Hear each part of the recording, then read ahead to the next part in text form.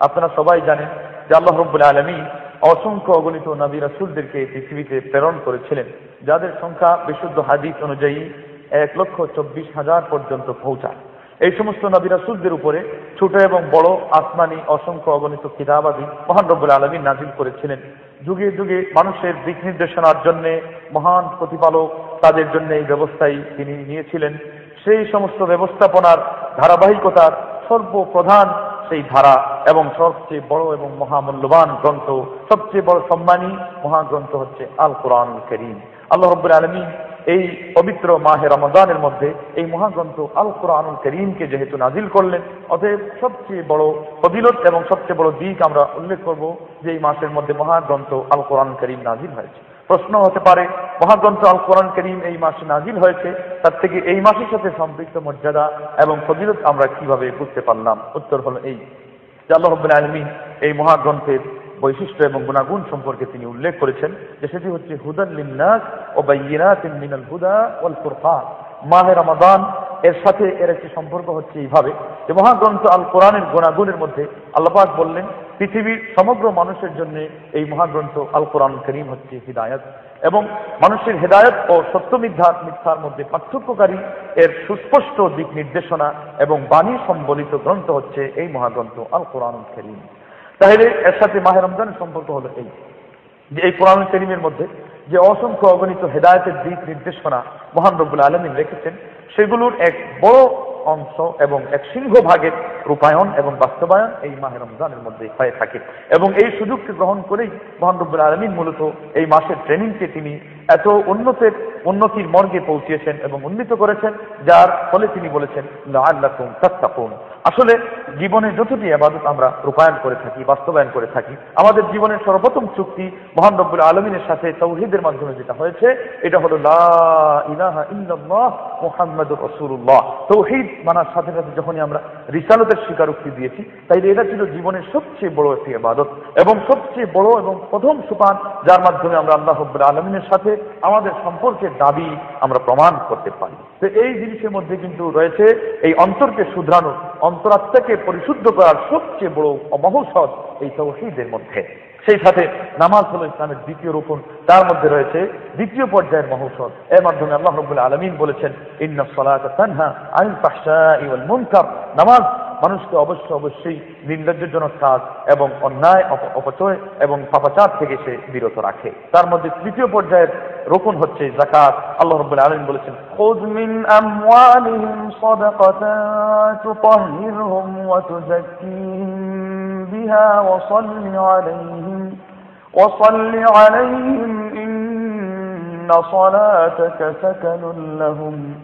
নবী, আপনি আপনার উম্মতের পক্ষ থেকে জাকাত আদায় করুন।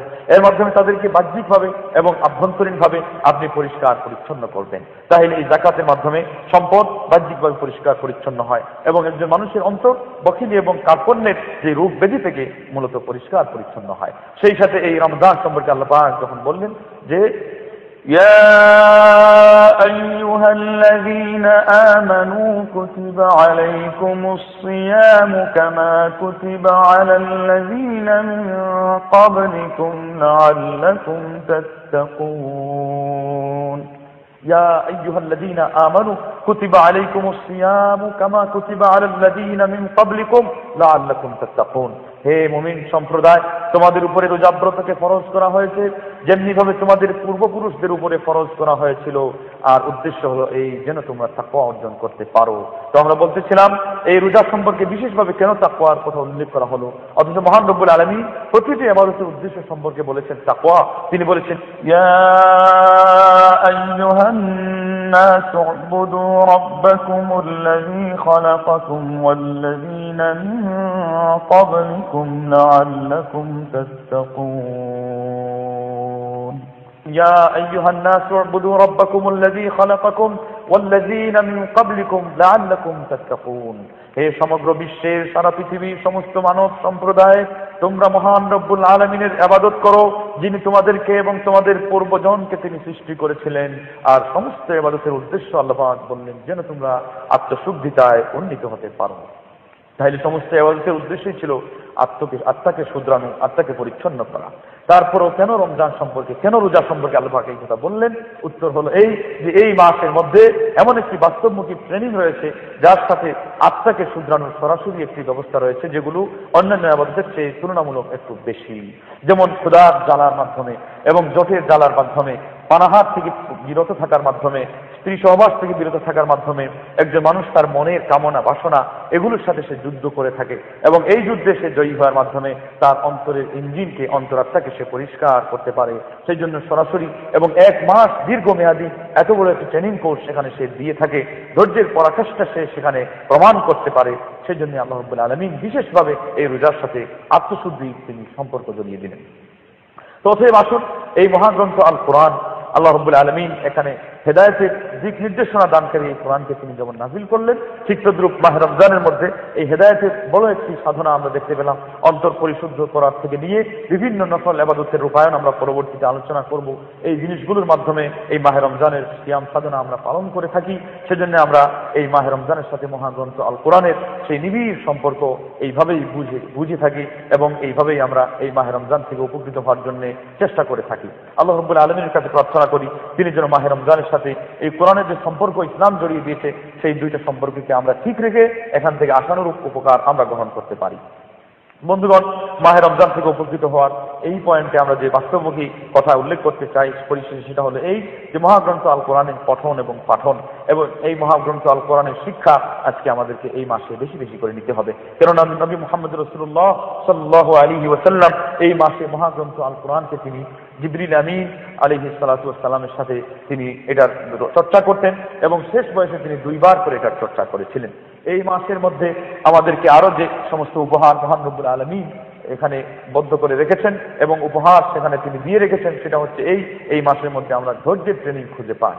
এই ধৈর্য, এটি এমন গুরুত্বপূর্ণ একটি উপাদান যেটা পৃথিবীর সমস্ত মানুষের মধ্যে এটা আমরা পরিলক্ষিত করি। এই ধৈর্য ছাড়া যেহেতু কোনো মানুষ সেই উন্নতির হিমাদ্রিতে এবং উচ্চ শৃঙ্গে সে পৌঁছতেই পারে না।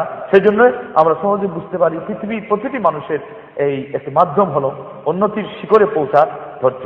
মুসলমান হিসাবে আমাদের উন্নতির যে শিখর এবং হিমাদ্রি এবং সেই চূর্ণ এবং চূড়া, সেটা হলো সমস্ত মানুষ এবং সমস্ত জাতি অপেক্ষা উন্নত মানের। সেটা হলো পরকালে রয়েছে যে পুরস্কার, জান্নাত এবং জান্নাতে রয়েছে মহান রব্বুল আলমিনের সাক্ষাৎ। তবে আমাদেরকে এর জন্য সাধনা করতে হবে, ধৈর্য অর্জনের জন্য আরও বেশি। তো আল্লাহ রব্বুল আলমী এই ধৈর্যের সাধনা আপনি কীভাবে করবেন? এই ধৈর্যের যত প্রকার রয়েছে, যত বিভাগ রয়েছে, ভাগ রয়েছে, সেইগুলোকে আপনি কীভাবে রূপায়ণ করবেন? সেজন্য আল্লাহ পাক মূলত আমাদেরকে মাহের রমজান উপহার দিয়েছেন।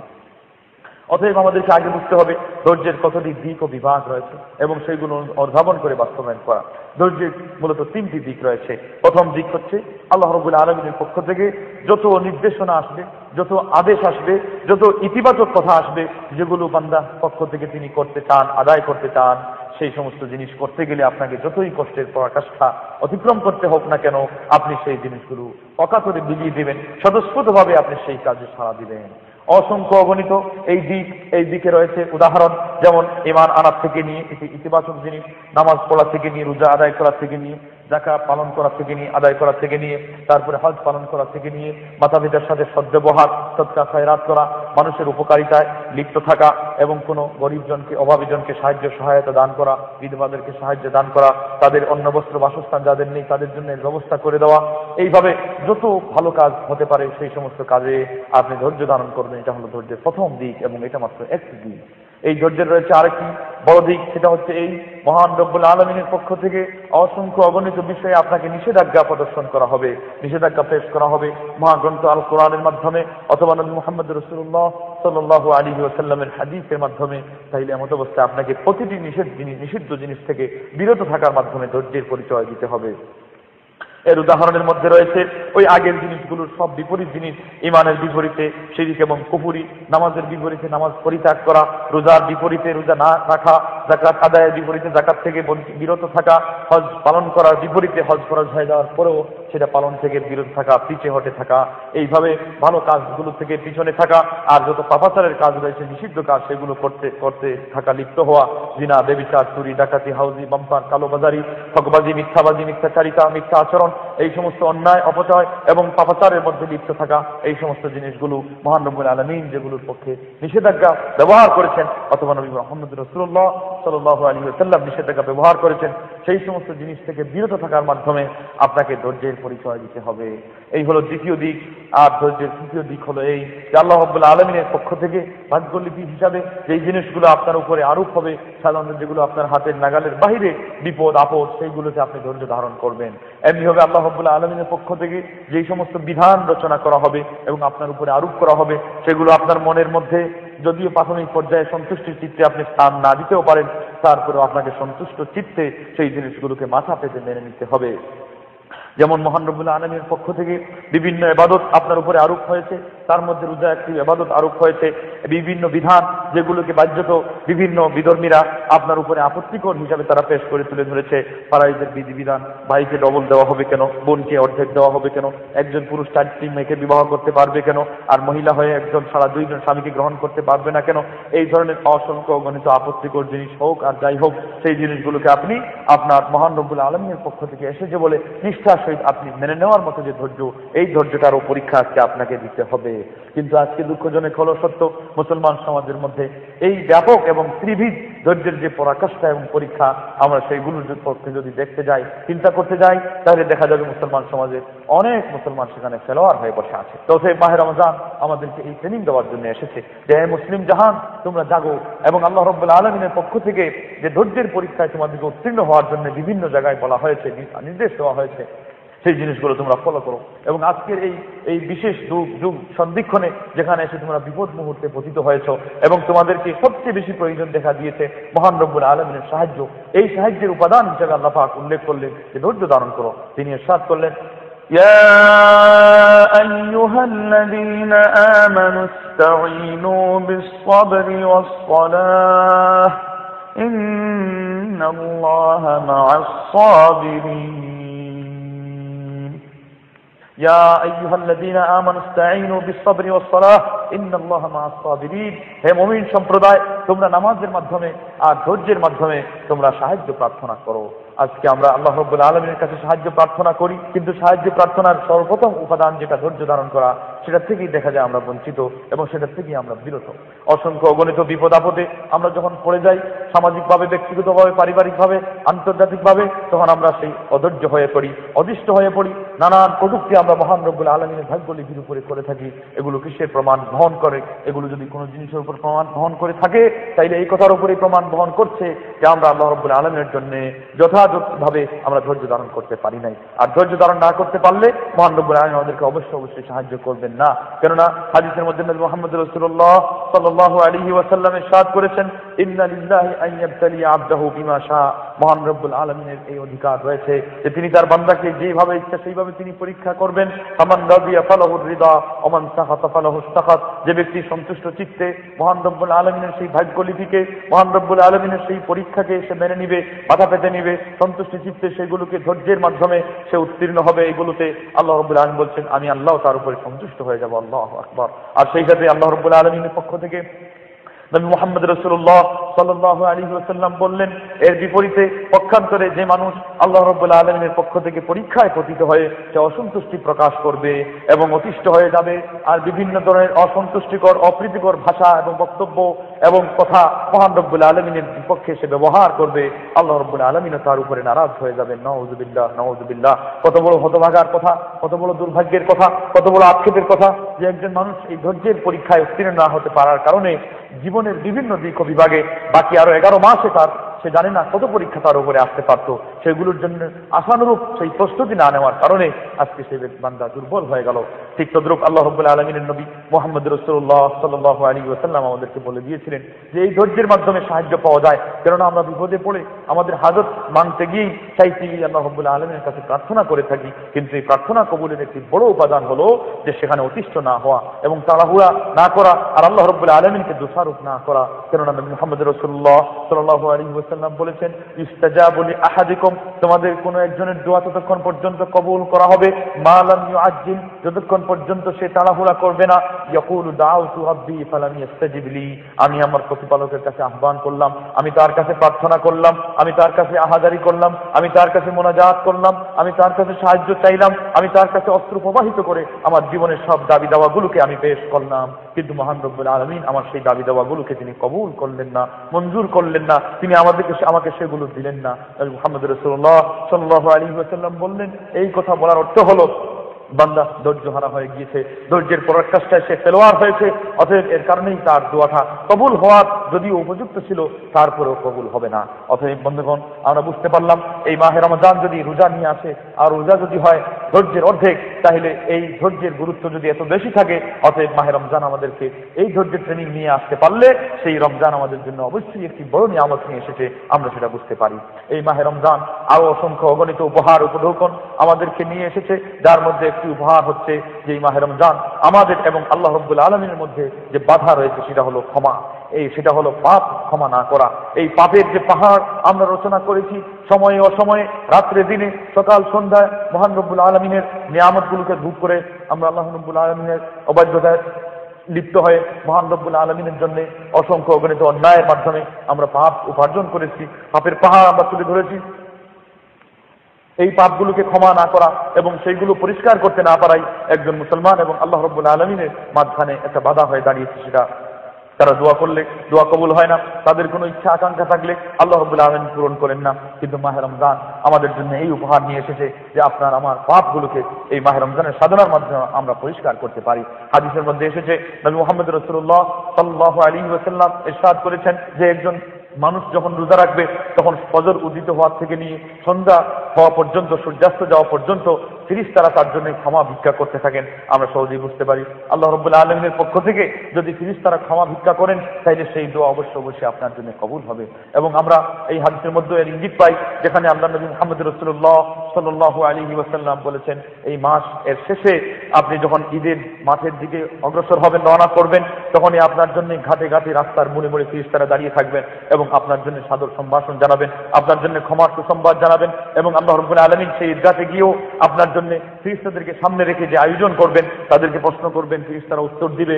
আল্লাহ রব্বুল আলমিন যখন প্রশ্ন করবেন, একজন শ্রমিক যদি তার পরিশ্রম, প্রায় শ্রমিক শ্রমকে, তার চেষ্টা সাধনাকে, তার সার্ভিসকে, তার কাজকে সে সঠিকভাবে আদায় করে, তাইলে তার পাওনা কি? ফিরিস্তারা উত্তর দেন যে তার পাওনা হলো পরিপূর্ণভাবে তার পারিতোষিককে আদায় করা, মালিকের পক্ষ থেকে সেগুলো দিয়ে দেওয়া। আল্লাহ রব্বুল আলমী ঘোষণা করবেন তখনই যে, শুনে রাখো, তোমরা জেনে রাখো, এই ঘোষণা আমি দিয়ে দিলাম। তারা পৃথিবীব্যাপী মুসলমান সমাজের জন্য, যারা এই রমজানের রোজাব্রতকে নিষ্ঠার সহিত পালন করেছে যে আমি তাদেরকে ক্ষমা করে দিলাম। আল্লাহ আকবর। এখানে পুরস্কার বিতরণের অনুষ্ঠান চলছে। মহান রব্বুল আলমিন খ্রিস্টাদেরকে দিয়ে এর প্রদর্শনীর অনুষ্ঠান তিনি চালাচ্ছেন এবং সেখানে একটি ভূমিকা তিনি পেশ করেছেন। এরপরে যা করলেন, যা দান করলেন, দেখা গেল আর কিছু না, সেটা হলো ক্ষমা। সহজে আমরা বুঝতে পারি, এই ক্ষমাটা আল্লাহ রব্বুল আলমীর পক্ষ থেকে বিরাট বড় একটি পুরস্কার। সেজন্য আমরা লক্ষ্য করলে দেখতে পাই, বিভিন্ন হাদিসের মধ্যে যেখানে নবী মোহাম্মদ রসুল্লাহ সাল্লাহ আলী সাল্লাম ধর্মীয় আলোচনার মাহফিলের ফজিলতের কথা বলেছেন। সেই ফজিলতের কথার মধ্যে এটাই উল্লেখ হয়েছে যে এই মাহফিল শেষ হওয়ার সাথে সাথে মহান রব্বুল আলমীর পক্ষ থেকে একজন তিরিশটা ঘোষণা জানিয়ে দেন, আরে যারা তোমরা এখানে বসেছিলে এই আলোচনায়, এই সভায়, এই ধর্মীয় আলোচনা সভায় তোমরা উঠে যাও, তোমাদের জন্য মহান রব্বুল আলমীর পক্ষ থেকে ক্ষমার ঘোষণা দিয়ে দেওয়া হয়েছে। অতএব ক্ষমা, এটা আল্লাহ রব্বুল আলমীর পক্ষ থেকে বিরাট বড় একটি পুরস্কার। এই ক্ষমা যে বড় পুরস্কার, এটা বাস্তবে আমরা তখনই বুঝতে পারি যখন একজন মানুষ দিনের পর দিন, রাতের পর রাত, সপ্তাহের পর সপ্তাহ, মাসের পর মাস সেই বছরের পর বছর যুগের পর যুগ, জেল খাটার পরে যখন মুক্তিপণের মাধ্যমে তাকে ছাড় দেওয়া হয়, তখন আমরা বুঝতে পারি মুক্তিপণের কত মূল্য, মুক্তিপণের কত মূল্য। এই মুক্তিপণের অর্থই হলো ক্ষমার মাধ্যমে মুক্তিপণ হয়ে থাকে। তো মহান রব্বুল আলমী আমাদেরকে এই জাহান্নামের আগুন থেকে মুক্তিপণ যেটা হলো, সেটা হলো ক্ষমা। এই ক্ষমার উপহার দিচ্ছেন মাহের রমজানের মাধ্যমে। অতএব এই রমজান, এই মেহমান আমাদেরকে এত বড় একটি পুরস্কার নিয়ে এসেছে, সেই জন্য তারও পাওনা রয়েছে আমাদের উপরে অনেক বেশি। আর সেটা হলো এই যে আপনি সমস্ত পাপ পন্থিলতা থেকে বিরত থাকবেন এবং সেই সাথে আল্লাহ রব্বুল আলমিনের সামনে অনুসূচনা ভরে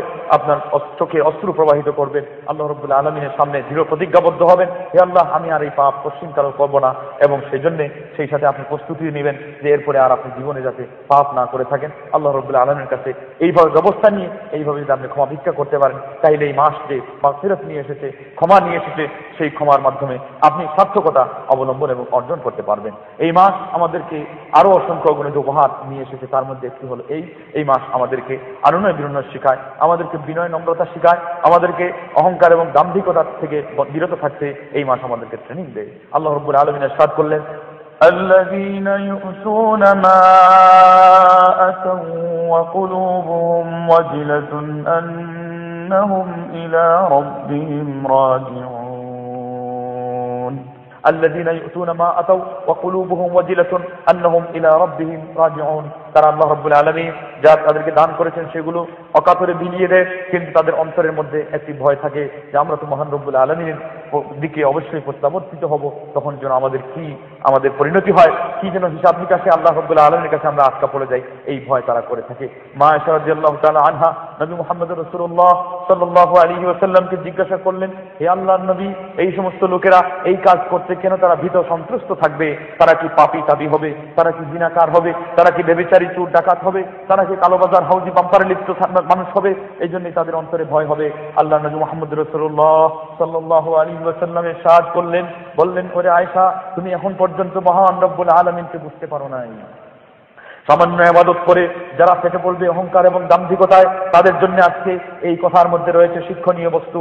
অতএব কান খাড়া করে মনের কান খুলে প্রতিটি মুসলমানকে এই কথাটি শুনে রাখা দরকার। নবী মোহাম্মদ রসুল্লাহ সাল্লাহ আলী ওয়াসাল্লাম তারপরে বললেন ইউসাল্লুনা ওয়া ইয়াসুমুনা ওয়া ইয়াতাসাদ্দাকুন ওয়ালাকিন্নাহুম ইয়াখশাউন আল্লাহ ইতাকাব্বালা মিনহুম তারা হলো ওই সম্প্রদায়, তারা হলো ওই প্রকারের মানুষ, যারা ভালো কাজ করে সেই ভালো কাজের মধ্যে ইমান আনার পরে সবচেয়ে বড় ভালো কাজ হলো নামাজ আদায় করা।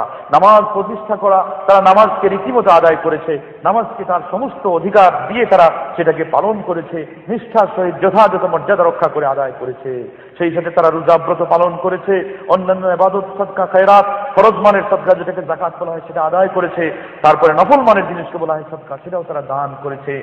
গরিবকে তারা সাহায্য, সহায়তা দান করেছে, কিন্তু এরপরেও তাদের মনের ভিতরে একটি ভয় ছিল, সেই ভয় হলো কি?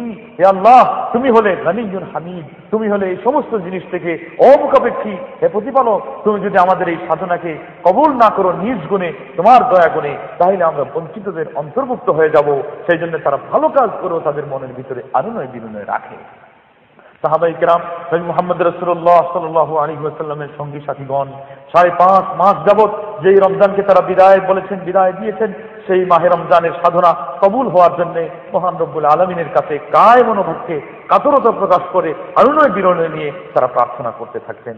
আর আরও অবশিষ্ট সাড়ে পাঁচ মাস আগামী রমজান আসার জন্য মহান রব্বুল আলমিনের কাছে তারা আরাধনা, প্রার্থনা এবং মোনাজাত করতে থাকতেন। কিন্তু আজকে আমাদের, আজকের সমাজের মুসলমানদের অবস্থা দেখলে একদিকে যদি আমরা লক্ষ্য করি তাহলে দেখতে পাবো সাহাবাহিক রামদের আমল কোথায়, তাদের সেই অন্তরে পরিচ্ছন্নতা কোথায়, যেই পরিচ্ছন্নতার মাধ্যমে মূলত একজন মানুষের সেই মর্যাদার মানদণ্ড স্থির করা হয় যে আল্লাহ রব্বুল আলমিন কোরআনে বলেছেন যে তাকোয়ার মাধ্যমেই তিনি মানুষের পার্থক্য করেন, সম্মানের মধ্যে, মর্যাদার মধ্যে সম্মানিত শ্রোতা।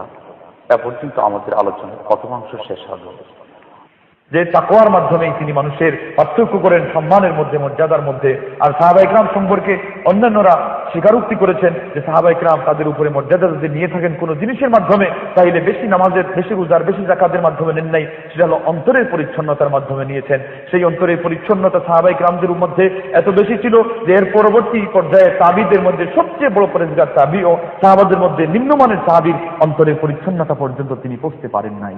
এই ধরনের পরিচ্ছন্নতা নিয়ে যারা এবাদত করেছেন, সেই এবাদতটাও কত পরিচ্ছন্ন, কত সুন্দর, কত সলিড কত নবী মোহাম্মদ রসুল্লাহ সাল্লাহ আলী সাল্লামের শূন্যতের সাথে মিল দেখা আবাদত সেই সমস্ত আবাদত হলো তাদের। আর আমাদের আমাদের আজকে অন্তরের সেই ময়লা আবর্জনা এবং কলুষ কালিমা, সেইগুলোর কথা চিন্তা করতে গেলে মাথা হেঁট হয়ে আসে, লজ্জায় শীত অবনমিত হয়ে আসে সেই সাথে আবার বেদাত এবং কুসংস্কারে ভরপুর এবাদত, মৌসুমে মৌসুমে বিভিন্ন ধরনের এবাদত। এরপরে আমরা আল্লাহ রব্বুল্লাহ আলমিনের সামনে এই এক মাসের সাধনা এইগুলোকে আলু ফালু এলো পাতালি যেন তেন প্রকারণে আদায় করার পরে আবার আমরা হামিচুনির দিগার নেশ। আমরা আবার অহংকারে মেতে উঠি অহংকারে পেতে পড়ি এবং আমরা বলি যে, আজ এখন আমার শেখে আছে। ইন্না আলিল্লাহ এর চেয়ে বড় বিপদ এবং মুসিবত আর কি হতে পারে সেজন্যই বলতেছিলাম, এই মাহে রমজান আমাদেরকে যে শিক্ষা দেয়, এই শিক্ষার মধ্যে একটি বড় শিক্ষা হলো এই যে সাহাবাহিক রামদের আদর্শে আমাদেরকে বলিয়ান হতে হবে। রমজান আসলে আমাদেরকে এই কথাই স্মরণ করতে হবে। দীর্ঘমেয়াদী এক মাস এর ট্রেনিং নিয়ে আমাদেরকে আজকে অহংকার এবং গরিমায় থেকে পড়া চলবে না। বরং আনন্দ দিলুনে মহান রব্বুল আলমিনের সামনে নতশীল হতে হবে। হে আল্লাহ, সর্বপ্রথম এই কথা মনে করবেন, হে আল্লাহ, তুমি আমাদেরকে এই নিয়ামতের সন্ধান দিয়েছ। তুমি যদি না দিতে মাবুদ, তাইলে আমরা এর সন্ধান পেতাম থেকে আর সেই সাথে মনে করতে হবে মোহাম্মদ রসুল্লাহ সাল্লাহ আলী সাল্লামের কথা, যেই নবী জীবনের সব কিছুকে বিসর্জন দিয়ে আরামকে হারাম করে দিয়ে কষ্ট ক্লেশগুলোকে উপভোগ করে তিনি আমাদের জন্য এই শরীয়তকে স্বচ্ছ শুভ্রভাবে সুন্দরভাবে তিনি রেখে গেছেন। আজকে আমাদেরকে এই কথাগুলো স্মরণ করে মহান রব্বুল আলমিনের সামনে নতশীল হওয়া প্রয়োজন ছিল। নবী মোহাম্মদ রসুল্লাহ সাল্লাহ আলী সাল্লামের আদর্শের সামনে আমাদেরকে ঋণী মনে করে আজকে কাতর থাকা প্রয়োজন ছিল। কিন্তু না, আজকে আমরা মনের সুখে গড্ডালিকা প্রবাহে গা বাসিয়ে দিয়ে বিভিন্ন ধরনের কাজের মধ্যে লিপ্ত হয়ে গেছি। বিভিন্ন ধরনের সেই আস্ফালনের মধ্যে লিপ্ত হয়ে গেছি। এগুলো যদি কোনো জিনিসের উপর প্রমাণ বহন করে থাকে, তাইলে এই কথার উপরেই প্রমাণ বহন করছে যে আজকে আমরা উদাসীন হয়ে গেছি। আল্লাহর অধিকার সম্পর্কে উদাসীন হয়েছি নবী মোহাম্মদ রসুল্লাহ সাল্লাহ আলী সাল্লামের অধিকার সম্পর্কে। আসুন, এই মাহের রমাদান আমাদের জন্য আরও যে সমস্ত উপহার এবং হাদিয়া ও উপঢৌকন নিয়ে আসে, তার মধ্যে একটি বড় উপহার হলো এই যে আল্লাহ রব্বুল আলমিনের অসংখ্য অগণিত অনুগ্রহের পরে পরে নবী মোহাম্মদ রসুল্লাহ সাল্লাহ আলী সাল্লামের অনুগ্রহ এবং তার সাধনা, তার কষ্ট ক্লেশ সম্পর্কে এই মাস আমাদেরকে একটি স্মরণীয় বাণী উপহার দেয়। নবী মোহাম্মদ রসুল্লাহ সাল্লাহ আলী সাল্লাম আপনারা জানেন যে এই মাহে রমজানের সত্রে এই রমজানে বদরের যুদ্ধের জন্য তিনি এই মাসের মধ্যে ত্যাগ দিয়েছিলেন। রোজা রাখা অবস্থায়, রোজা থাকা অবস্থায় পেটে পাথর বেঁধে যেই নবী মোহাম্মদ রসুল্লাহ সাল্লু আলী সাল্লাম কষ্ট সাধনা করে, এই মাসের মধ্যে ইয়মুল ফুরকান সত্য মিথ্যার মধ্যে পার্থক্যকারী যুদ্ধে প্রবৃত্ত হয়েছিলেন। তার সঙ্গী সাথী সেই তিনশো তেরো জন থেকে নিয়ে উনিশ জন মতান্তরে সাহাবাই কালামদেরকে নিয়ে আজকের এই মাস আমাদেরকে উপহার দিচ্ছে এই কথা। স্মরণ করে দিচ্ছে মতে মোহাম্মদিয়া, তোমরা জেনে রাখো, তোমরা ত্যাগ এবং সুশিক্ষা এবং উৎসর্গের পূর্বসূরি, এদের উত্তরসূরি উম্মত তোমাদেরকে আজকে বিস্মিত হলে চলবে না। তোমাদেরকে আজকে এই মাহে রমজানের এই নিরামিষ কিছু সাধনা করলেই চলবে না। বলে খাবার পানাহার আর মিলন থেকে বিরত থাকলাম আর এরপরে ঘুমিয়ে ঘুমিয়ে দিন কাটিয়ে দিলাম। মুসলমান সমাজের আজকে দুরবস্থা কত দূর পর্যন্ত পৌঁছে গেছে? মুসলমানদের জনপদে আজকে বিধর্মীদের সেই অস্ত্রের ঝনঝনা নিয়ে আজকে সর্বক্ষণে সার্বক্ষণিক বাঁচতেছে রাত দিন আজকে মুসলমানদের। সেই সন্তানরা এবং নারীরা, তারা হিমশিম খাচ্ছে, তারা প্রহর গণছে কখন তাদের উপরে বিধর্মীদের জুলুম এবং নির্যাতনের স্ক্রিনগুলার তাদের উপরে চেপে যায় আজকে তোমাদেরকে এই মুহূর্তে মহান রব্বুল আলমিনের পক্ষ থেকে যে মাহেরম গান এসেছে, যেই মাসের মধ্যে তার সবচেয়ে প্রিয় নবী মোহাম্মদ রসুল্লাহ সাল্লাহ আলী সাল্লাম আল্লাহ পাক যদি এইভাবে চাইতেন, তাইলে সেই নবীকে এই এত কষ্টের মধ্যে না নিয়েও তাদের জয় দিয়ে দিতে পারতেন, কিন্তু দিলেন না। অতএব আজকের যুগের এই মুসলমানদের জন্য শিক্ষা হলো এই। অরে মুসলমান, আজকে তোমাদের এই দোয়াতেই শুধু কাজ হবে না। আর কাতর ভাব প্রকাশ করলেই কাজ হবে না, আর কান্নার মায়া কান্নার বিলাপ ছাড়লেই কাজ হবে না।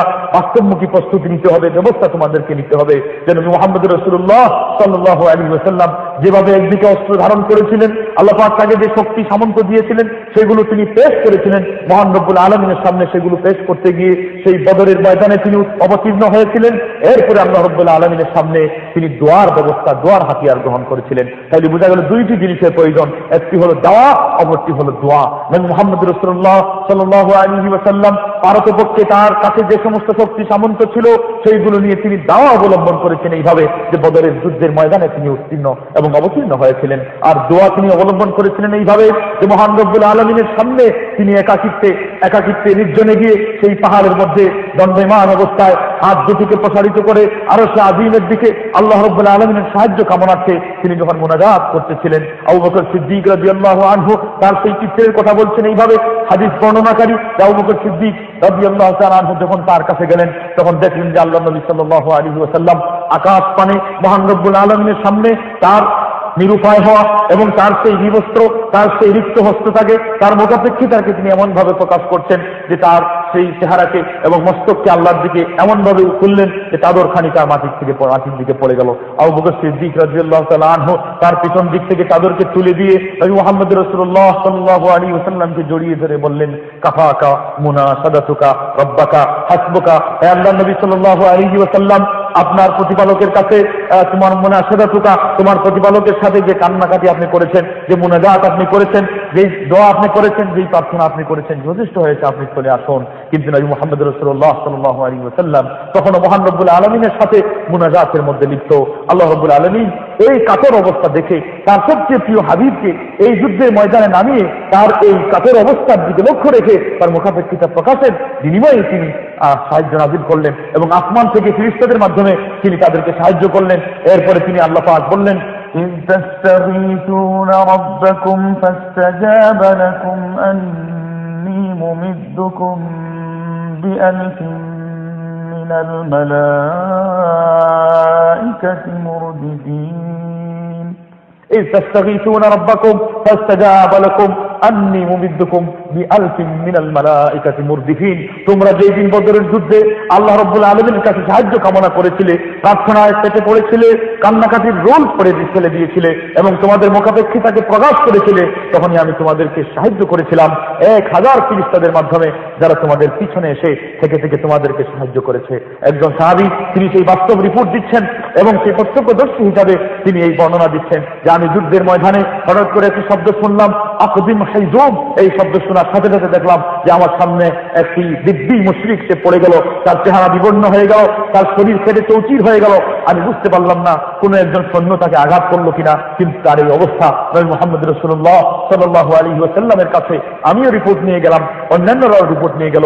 তারপরে আল্লাহ নবী সাল্লাহ আলী ওসাল্লাম বললেন, এটাই হচ্ছে আল্লাহ হব্বুল আলমিনের সেই ওয়াদার চিরসত্যতা যেটাকে তিনি ঘোষণা করেছিলেন যে তোমরা যখন আল্লাহর কাছে সাহায্য চেয়েছিলে, তখন আমি আল্লাহ রব্বুল আলমী তোমাদের দোয়াকে, প্রার্থনাকে কবুল করেছিলাম, আর তোমাদেরকে এক হাজার ফিরিস্তাদের মাধ্যমে যারা তোমাদের পিছনে থেকে সহযোগিতা করবে, সাহায্য করেছিলাম। আজকে এই মাহে রমজান, বন্ধুগণ, আমাদেরকে এই ত্যাগের শিক্ষা দেয় আমাদেরকে স্মরণ করিয়ে দেয় সেই বদরের যুদ্ধের কথা। আমাদেরকে স্মরণ করিয়ে দেয় মোহাম্মদ রসুল্লাহ সাল্লাহ আলী ওয়াসাল্লামের বাস্তবমুখী ধৈর্যের কথা, ত্যাগের কথা, উৎসর্গের কথা, দোয়া এবং দাওয়া অবলম্বনের কথা। কিন্তু আজকে দুঃখজনক হলো সত্য যে মমিন সম্প্রদায়, মুসলিম সম্প্রদায়ের অবস্থা যদি আমরা লক্ষ্য করি, যদি আমরা দেখি, তাকাই তাইলে দেখা যাবে বিলাপ করা ছাড়া আর কোনো গতি নেই। এক দলের দিকে যদি আপনি তাকান তাইলে দেখতে পাবেন যে তারা দোয়াকেই সমস্ত ভরসা মনে করে নিয়েছে। দাওয়া অবলম্বনে আর কোনো প্রয়োজন মনে করে না।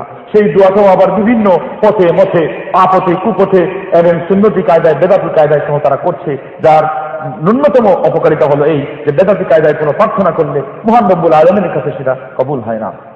অপরদিকে যদি আরেক দলের দিকে আপনি লক্ষ্য করেন, তাহলে দেখতে পাবেন সেখানে শুধু দাওয়া দাওয়া আছে কিন্তু আল্লাহ রব্বুল্লাহ আলমিনই যে সাহায্য করেন, তার কাছেই যে আমাদেরকে কায় মনোবাদকে সাহায্য চাইতে হবে, তার পক্ষ থেকে সাহায্য আসলেই যে আমরা বিজয় লাভ করতে পারব, এই কথার দিকে তারা যেন ভূক্ষেপ করে না। তারা শুধু প্রস্তুতি নেওয়ার নেও, এই করতে গিয়ে তারা কোনো ধরনের বিশ্বামেশা ছাড়া, হিতাহিত জ্ঞান ছাড়াই তারা এমন কিছু পদক্ষেপ, এমন কিছু কর্মসূচি গ্রহণ করে, যার মাধ্যমে হয়ে যায় হিতে বিপরীত। এবং আল্লাহ রব্বুল্লাহ আলমিনের সামনে নতশীল না থাকার কারণে মহান রব্বুল আলমিন তাদেরকে সাহায্য করেন না। দ্বিতীয় পর্যায়ে নবী মোহাম্মদ রসুল্লাহ সাল্লাহ আলী আসাল্লামের আদর্শ অবলম্বনের মাধ্যমে আল্লাহ রব্বুল আলমিনের সাহায্য কামনা করতে না যাওয়ার কারণেও তারা সেই পদস্খলিত হয় এবং সিরাতে মুস্তাকিম থেকে পদস্খলিত হওয়ার সাথে সাথে মহান রব্বুল আলমীর পক্ষ থেকে সাহায্যের ভূষণ এবং মুকুট পড়া থেকেও তারা বঞ্চিত হয়। সেই ক্ষেত্রে নিজেরা বঞ্চিত হয় না, বরং মুসলিম জাতিকেও তারা বঞ্চিত করে। এইভাবে আজকে দিনের পর দিন মুসলমানদের অধঃপতনের ধারাই দিনের পর দিন অধঃপতনের দিকেই আরও তলিয়ে যাচ্ছে। উন্নতির কোনো দিক নির্দেশনা এবং কোন লক্ষণ মুসলমানদের ভাগ্যাকাশে দেখা যাচ্ছে না। অতএব মাহে রমজান থেকে আমাদের শিক্ষা হলো এই যে আমাদেরকে কিছু প্রস্তুতি নিতে হবে, বাস্তবমুখী প্রস্তুতি এবং সবসময় এই ক্ষমতার মূল চাবিকাঠি সুপার পাওয়ার জানতে হবে যে মহান রব্বুল আলমী বন্ধুগণ, এই মাহের রমাদান আমাদেরকে আরও অসংখ্য কিন্তু উপহার দেয়।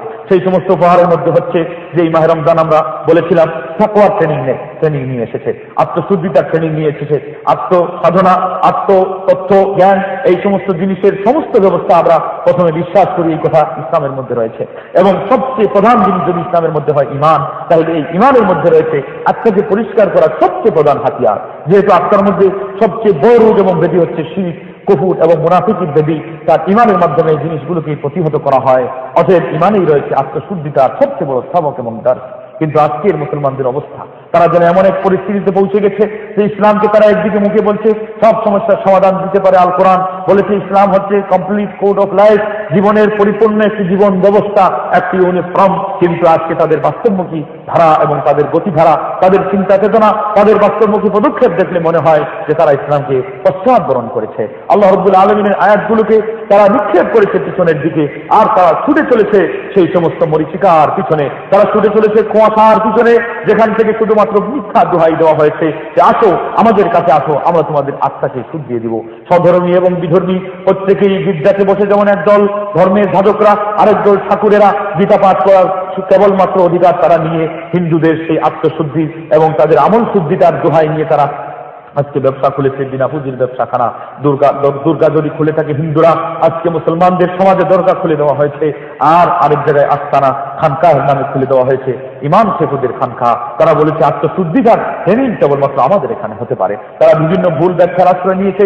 বলেছে, মুসলমানদের প্রাককালে, ইসলামের প্রাককালে বা প্রাথমিক যুগে নবী মোহাম্মদ রসুল্লাহ সাল্লাহ আলী সাল্লাম আত্মা শুদ্রানো এবং মানুষের আমল শুদ্রানোর দায়িত্ব নিয়েছিলেন। তারপরে নিয়েছিলেন খোলাফায় আরবা, খোলাফায় রাশিদি, তারপরে নিয়েছিলেন অন্যান্যরা মুসলিম রাষ্ট্রনায়করা। কিন্তু এর পরবর্তী পর্যায়ে বলে এটার দায়িত্ব নিয়েছে তারা।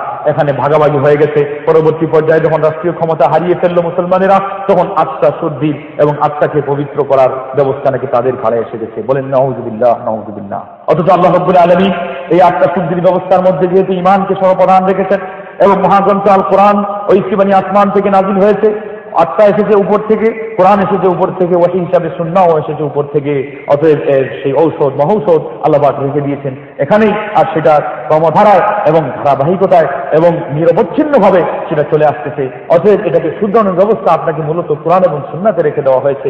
এবং দ্বিতীয় দিক হলো এই যে কোনোদিন নবী সাহাবাই কালাম এবং তাদের পরবর্তীরা সাহাবাই কালামদেরকে খোলাফায় রাশিদিনদেরকে পীর হিসাবে তারা কোনোদিন বয়স করেন নাই। তারা ইসলামের রাষ্ট্রনায়ক হিসাবে বয়স করেছেন। কিন্তু আজকে তারা যেই বয়সের আসল হাকিগত ছিল যে পুরা মুসলমান বিশ্বকে একীভূত করা, একই দলে অন্তর্ভুক্ত করা, আর এরই জিনিসটাকে বাস্তবায়ন করতে পারে রাষ্ট্রনায়কের হাতে বয়স করলে। তারা আজকে হুবু মুসলমানদের সমাজে এই সমস্ত মিথ্যা দোহাই দিয়ে যে তারা তাদেরকে কেবলমাত্র তাদের ব্যবসার পণ্য হিসাবে ব্যবহার করছে, এর বাস্তবমুখী প্রমাণ হলো এই। তাদের এই তারা আজকে হুবু মুসলমানদের সমাজে এই সমস্ত মিথ্যা দোহাই দিয়ে যে তারা তাদেরকে কেবলমাত্র তাদের ব্যবসার পণ্য হিসাবে ব্যবহার করছে, এর বাস্তবমুখী প্রমাণ হলো এই। তাদের এই বয়সের সাথে রাষ্ট্রনায়কের বয়সের কোনো মিল নেই। সেটা হলো এই, রাষ্ট্রনায়কের বয়সের মাধ্যমে মুসলমানদের সেই বক্তব্য এক হয়, মুসলমানদের মতিগতি এক হয়, মুসলমানদের চিন্তা চেতনা একীভূত হয়, মুসলমানরা ঐক্যের সমাজে পরিণত হয় এবং মুসলমানরা ঐক্যের যে মূলনীতি মাপকারী মহাগ্রন্থ আল কোরআনকে ধারণ করে তারা ঐক্যমত্যে তারা উপনীত হয়। আজকে মুসলমান সমাজে যে বয়স তারা পরিচালিত করেছে এবং যে বয়সকে তারা প্রচার করেছে এবং যেটার প্রচার প্রসার তারা ঘটিয়েছে, প্রচলন ঘটিয়েছে, তার মধ্যে মুসলমান মাধ্যমে মুসলমানরা সততা বিচ্ছিন্ন হয়, তাদের অন্তর আরও কালো হয়, তাদের মধ্যে হিংসা বিদ্বেষের সেই রোগ এবং বীজগুলো গোপন করা হয়। তার বাস্তবমুখী প্রমাণ। যদি আপনারা নিতে যান, তাহলে আমাদের সেই গরিব দেশের দিকে আপনি লক্ষ্য করুন। এই গরিব দেশকে আমি অর্থের দিক থেকে গরিব বলি না। এই দেশকে আমি সেই প্রাকৃতিক বিভিন্ন ধরনের মহানব্বুল আলমিনের পক্ষ থেকে দেওয়া উপহার, যে সমস্ত উদ্ভিদ, জাত এবং উৎপাদন দ্রব্যের দিক থেকে গরিব বলি না, বরং অনেক ধনী। গরিব হলো আজকে আমাদের সমাজ। যদি সংখ্যার দিক থেকে হয় দ্বিতীয় মুসলিম বিশ্ব, কিন্তু তারা গরিব হলো, ফকির হলো, মিসকিন হলো, ইসলামের দিক থেকে। আর এই মিসকিন আর এই গরিব তাদের প্রমাণিত হয়েছে। এই সমস্ত লোকদের দোহাই মিথ্যা বাহানার থেকে যারা পীর মুরিদির নামে আত্মতত্ত্ব জ্ঞান চর্চার নামে আমাদের মুসলমান সমাজকে গরিব করেছে। কীভাবে গরিব করেছে? মুসলমানদের সবচেয়ে বড় শক্তি ছিল, মুসলমানদের ধনাত্ম হওয়া সবচেয়ে বড় উপাদান ছিল ঐক্যের শক্তি। তৌহিদের শক্তির পরপরই হলো অক্ষের শক্তি। আজকে তাদের মাধ্যমে সেই অক্ষের শক্তির মেরুদণ্ডকে ভেঙে দেওয়া হয়েছে। আজকে, আজ থেকে নিয়ে তেইশ থেকে চব্বিশ বছর আগে পরিসংখ্যানে দেখা গিয়েছে, আমাদের সেই দ্বিতীয় মুসলিম বিশ্বে দুই লক্ষ আটানব্বই হাজার তীর মুড়িদের তরিকা। আর এক একটা তীরের অধীনে লক্ষাধিক মুড়িদ রয়েছে। এর অর্থ হলো কত লক্ষ লক্ষ কোটি কোটি মানুষ আজকে সেই পীর মুড়িদের মাধ্যমে তারা বিভ্রান্ত হয়েছে, মিথ্যা আত্মশুদ্ধির দোহাইতে পড়ে।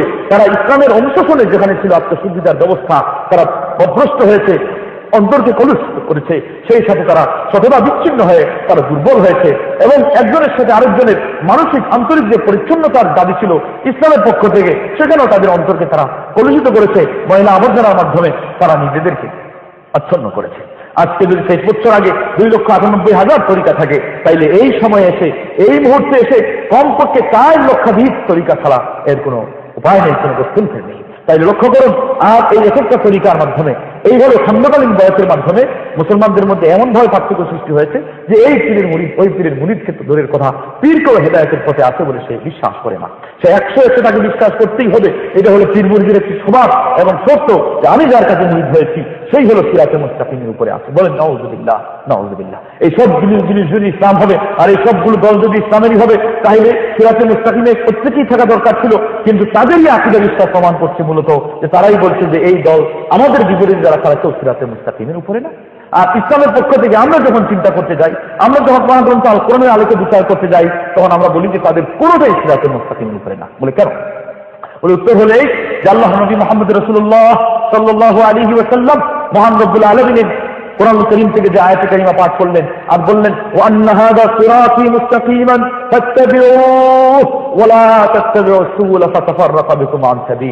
হে উম্মতে মোহাম্মদিয়া, হে আমার জাতি, হে আমার সম্প্রদায়, হে কিয়ামত পর্যন্ত আসা সমস্ত মুসলমান সমাজ। তোমরা এই যে সিরাতে মুস্তাকিমের দাগ আমি আঁকলাম, আমি দাগ দিলাম, এই সিরাতে মুস্তাকিম হল কোরআন এবং সুন্নার মাধ্যমে ঘটিত। আমি এবং আমার সাহাবের কেরামের মাধ্যমে অনুশীলনকৃত মা আনা আলিহি ওয়াসহাবিল ইয়াউম। আজকের দিনে এই সিরাজ মুস্তাকিম হলো একক পথ এবং তোমাদেরকে অন্যায়, অনাচার থেকে, তোমাদেরকে সততা বিচ্ছিন্ন হওয়া থেকে, এমনকি দুনিয়াতে পথগ্রস্ত হওয়া থেকে, পরকালে জাহান্নামের দিকে যাওয়ার থেকে, যেই জিনিসটা তোমাদের জন্য রক্ষা করতে হবে, সেটা হলো একটাই তরিকা। কিন্তু আজকে তাদের সবটাই নিজেদেরকে সৎ বলছে, আবার বিপরীতদেরকে বাতিল বলছে, তার মানে প্রত্যেকটাই প্রত্যেকটাকে আবার বাতিল ঘোষণা দিচ্ছে। অতএব আমাদের পক্ষ থেকে দেওয়ার দরকার নেই, তারাই বাতিল ঘোষণা দিচ্ছে। এর উপরে এসে মহাগ্রন্থ আল কোরআন এবং মোহাম্মদ রসুল্লাহ সাল্লাহ আলী সাল্লামের এই উল্লেখিত হাদিস হিসেবে বলেছে যে, নবীর যুগের রেখে যাওয়া যেটা, ওটাই হলো সিরাত মুস্তাকিম, ওটাই হলো হকের পথ। আর এই পথে যারা পরিচালিত হবে, তারাই হলো হকপন্থী। অতএব এদের এই সমস্ত ধারা আর এই সমস্ত বক্তব্য কোনোটাই আল্লাহ নবীর যুগে ছিল না না সাহাবাদের যুগে ছিল, না তাবিদের যুগে ছিল না তবে তাবিদের যুগে ছিল, না বড় বড় ইমামদের যুগে ছিল, না বড় বড় আল্লাহর প্রিয় বান্ধাদের যুগে ছিল। অতএব এই সমস্ত জিনিস প্রমাণ বহন করে তাদের সবটাই আগাগোড়া, সবগুলোই হলো বাতিল পদ্ধতি এবং সবগুলোই শেষ পর্যন্ত তাদেরকে জাহান্নামের পথের দিকে নিয়ে যাচ্ছে।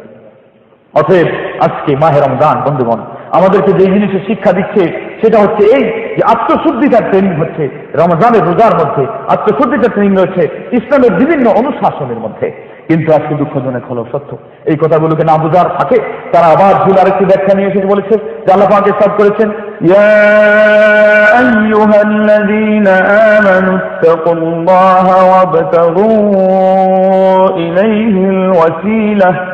يا أيها الذين آمنوا اتقوا الله وابتغوا إليه الوسيلة হে মুমিন সম্প্রদায় তোমরা আল্লাহকে ভয় করো আর আল্লাহকে পাওয়ার জন্য আল্লাহ সন্তুষ্টি অর্জনের জন্য জান্নাত পাওয়ার জন্য জাহান্নাম থেকে বাঁচার জন্য তোমরা ওসিলা অন্বেষণ করো মাধ্যম উপায় উপকরণ অবলম্বন করো মহান রব্বুল আলমিন মূলত প্রতিটি মুসলমানদের জন্য তিনি উপহার দিয়েছিলেন ইমান এবং আমলে সালে তাকওয়া এবং সত্যতের যত কাজ সিরাতে মুস্তাকিমের জান্নাতে যাওয়ার যত কাজ হাদিসের মধ্যে নবী মোহাম্মদ রসুল্লাহ সাল্লাহ আলী ওয়াসাল্লামের জবানিতে সাত করেছিলেন সবগুলোই ছিল মুসলমানদের জন্য ওসিলা, বৈধ ওসিলা, উৎসাহের ওসিলা, অপরিহার্য ওসিলা। ইমানের যে মাধ্যম, এর ছাড়া আপনি জান্নাতে যেতে পারবেন না। সেই সাথে আমলের সালেহের মাধ্যম, এর ছাড়া আপনি জান্নাতে যেতে পারবেন না। কিন্তু আজকে তারা মুসলমানদের সমাজ থেকে কোরআন করিমের এই সঠিক ব্যাখ্যাকে তারা সম্পূর্ণ অনেক দূরে নিয়ে চলে গেছে যে আজকে তারা এর ভুল ব্যাখ্যা দিয়েও তারা সফল কাম হচ্ছে। বলছে, ওসিলা ধরো, আর ওসিলার অর্থ হলো, পীর বাবুকে ধরতে হবে। যার নাই পীর, তার নাই পীর, যে পীর ধরে না, তার পীর শয়তান। আজকে তারা এই সমস্ত উদাহরণ দিয়ে বোঝাচ্ছে।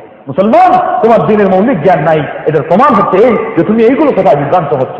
দিনের মৌলিক জ্ঞান থাকলে তুমি বুঝতে পারতে যে মুসলমান তোমার চাবিকাঠি ছিল, তোমার মাধ্যম ছিল জান্নাতে যাওয়ার জন্য ইমান এবং আমলে সালে যদি একজন মুসলমানকে প্রশ্ন করা হয় যে কেন মুসলমানরা জান্নাতে যাবে আর বিধর্মীরা কেউ জান্নাতে যাবে না তাই প্রতিটি মুসলমান শত সরলপ্রাণ মুসলমান, শিক্ষিত অশিক্ষিত মুসলমান, যে উত্তর দিতে পারবে অকুত হয়ে এবং নির্দ্বিধায় অধ্যক্ষহীন ভাবে সেটা হলো এই, তারা বলবে যে এর উপরের মধ্যে ইমান আছে এবং আমলে সালে আছে। কিন্তু বিধর্মীদের সবচেয়ে বড় সমাজসেবী একজন বড় আপনার সমাজের উপকারকারী মহিলা হোক, পুরুষ হোক, যেমন প্রিন্সেস ডায়ানার নাম এখন সামনে আসছে, তাকে আপনি বলবেন যদি জান্নাতের কথা প্রশ্ন করা হয়, যাবে কি যাবে না? প্রতিটি মুসলমান বলবে যে সে জান্নাতে যেতে পারবে না। কেন সমাজের জন্য সে এত উপকার করল?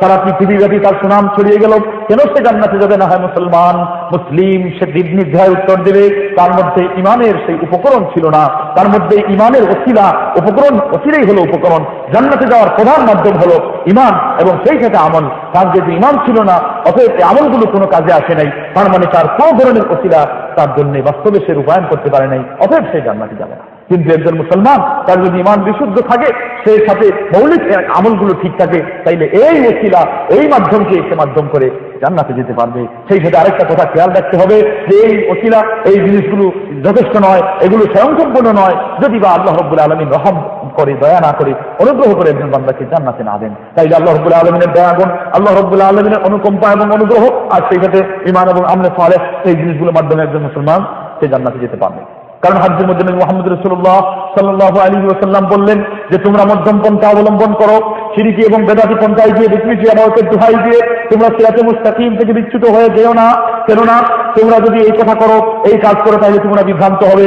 আর আমি তোমাদেরকে বলে দিলাম যে, আমল আসল জিনিস নয় যে, বেশি বেশি করলেই কাজ হবে। কেননা মহান আলমিনের কাছে মূল জিনিস হলো এই, তার রহমত পাওয়ার যে পথ, সেই পথ ধরে থাকা, আর তার রহমত ছাড়া কেউ জান্নাতে যেতে পারবে না। আপনিও কি মহান রব্বুল আলমিনের অনুগ্রহ, অনুকম্পা এবং তার ছাড়া আপনি জান্নাতে পারবেন না? আল্লাহ সাল্লাল্লাহু আলাইহি ওয়াসাল্লাম প্রতি উত্তরে বললেন, ওরে আমার সাহাবাই কারাম আমি নিজেও আল্লাহর রহমত ছাড়া এবং আল্লাহর অনুগ্রহ ছাড়া জান্নাতে প্রবেশ করতে পারব না। অতএব আজকে সমাজের প্রতিটি মুসলমানদের জন্য এই আয়াত এবং এই সমস্ত হাদিস থেকে প্রথম শিক্ষা হলো এই যে অচিলা হচ্ছে ইমান এবং আমাদের সালেহ। এবং সেই সাথে দ্বিতীয় শিক্ষা হচ্ছে এই যে আপনি এই কথা মনে করবেন না যে এবাদত জেনার প্রকারণে কিছু করে এইভাবে করলে তো মানুষ কিছু আসতেছে সলগরাতে সেই মহড়া খুললে, বাজার খুললে মানুষ কিছু মসজিদে আসে, আর মেয়েরাজের রাত্রি পালন করলে, মাইক বাজালে মানুষজন কিছু আল্লাহর পথে আসে, কিছু কোরআন শিখতে মনোনিবেশ করে, আল্লাহ প্রথম এই জিনিসের মাধ্যমে আপনি সর্বপ্রথম এই কথাকেই আপনি ভুলে বসে গেছেন যে মহান রব্বুল আলমিনের পক্ষ থেকে রহমতের মাধ্যমে জান্নাতে যাওয়া যায়, আর রহমতের একমাত্র উপায় উপকরণ হলো যে আল্লাহ আলমিন যে পথ আপনাকে উপহার দিয়েছেন নবী মোহাম্মদ রসুল্লাহ সাল্লাহ আলী ওসাল্লামের মাধ্যমে সেটাকে ধরে থাকা।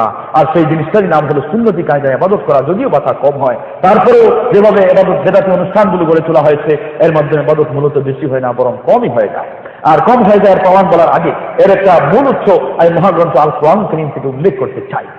যারা বেদাতি অনুষ্ঠানগুলো এই প্রচার অপপ্রচার চালায় এবং সেগুলোকে বাস্তবায়ন করে তারা মূলত যে দোহাইগুলোকে ব্যবহার করে সেটা হলো এই যে আমরা ভালোর আশা করি মনে করি যে এর মাধ্যমে কিছু জিকির হবে কিছু আল্লাহর নাম নেওয়া হবে কিছু কোরআন তিলত হবে কিছু নবীর উপরে দূরত পড়া হবে অথচ আল্লাহ পাক কোরআনে বলেছেন لقد كان لكم في رسول الله أسوة حسنة أسوة حسنة لمن كان يرجو الله واليوم الآخر وذكر الله كثيرا.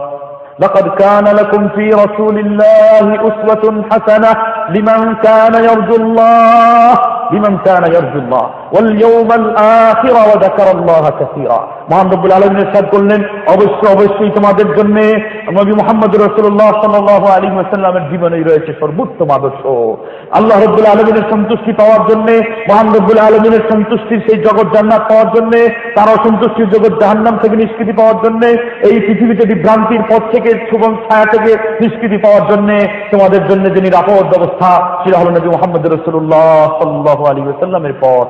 এরপর আল্লাহ দাঁত ভাঙ্গা জবাব দিয়ে এই সমস্ত বেদাতের ভোটারা এবং যে সমস্ত এজেন্টরা তাদের জবাব দিতে গিয়ে বলছেন, লিমান কারায়াজুল্লাহ যে ব্যক্তি প্রকৃতপক্ষে আল্লাহকে সন্তুষ্ট করতে চায় এবং তার সমাজের মুসলমান সমাজ, এরাও আল্লাহ সন্তুষ্টের পাত্রে, সন্তুষ্টির পাত্রে পরিণত হোক, এই কথা চায়।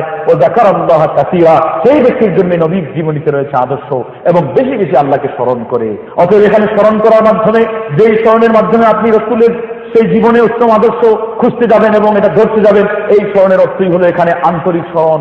মনের ভিতরে আপনি খেয়াল রাখবেন যে আমি যখন এই বেদাত করতে যাচ্ছি, আর আমার সামনে সেই বাহানাগুলো পেশ করছি, যে এর মাধ্যমে কিছু লোক দিনের প্রতি আসবে, আমি তো আল্লাহকে স্মরণ করি নাই। কেননা মহান রব্বুল আলম আমাকে বলেছেন যে আল্লাহর পথে আসার সর্বোত্তম এবং একক চূড়ান্ত পন্থা হচ্ছে, নবী মোহাম্মদ রসুল্লাহ সাল্লাহ আলী সাল্লামের রাস্তা। তাইলে আল্লাহর জিকি কোরআন তেরাওয়াত আর এই সমস্ত এবারতের দোহাই দেওয়া, এগুলো সব কেবলমাত্র মিথ্যা জানাই আর মায়া কান্নায় পরিণত হয়ে গেল।